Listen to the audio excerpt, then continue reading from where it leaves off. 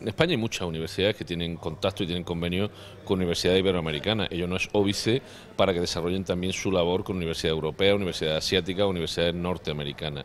Lo que pasa es que el caso de la Universidad Internacional de Andalucía es un caso particular. Es una universidad creada por el gobierno de Andalucía con la función de contribuir a la relación de Andalucía, como he dicho antes, con dos espacios geográficos perfectamente definidos. Iberoamérica, por razones culturales obvias, y el norte de, África, por razones también de vecindad. Marruecos es uno de los elementos, de los espacios geográficos con el que desarrollamos otras líneas de actuación.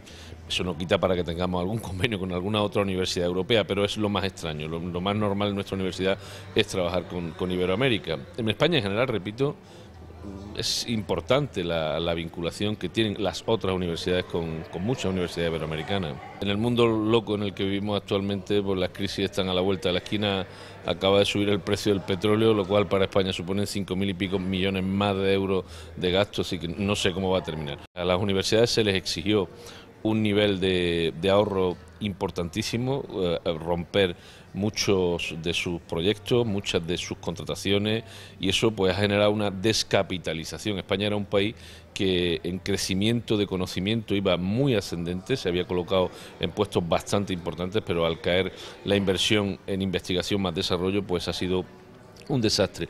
Y al final, al final la riqueza de los países está en la investigación, está en el desarrollo, está en el mundo de la empresa. Si no se invierte en investigación y desarrollo, mal vamos. O sea que yo el consejo, no soy nadie para dar consejos a los argentinos, pero si pudiera dar un consejo, no hagan caso a los gobiernos que piden que se ahorre más y más en gasto público. El gasto público depende de qué gasto público. Y dinero hay para lo que se quiere que haya. Y en educación y salud son dos sectores en los que hay que invertir siempre. Y siempre es eh, lo que no se ha hecho en, España.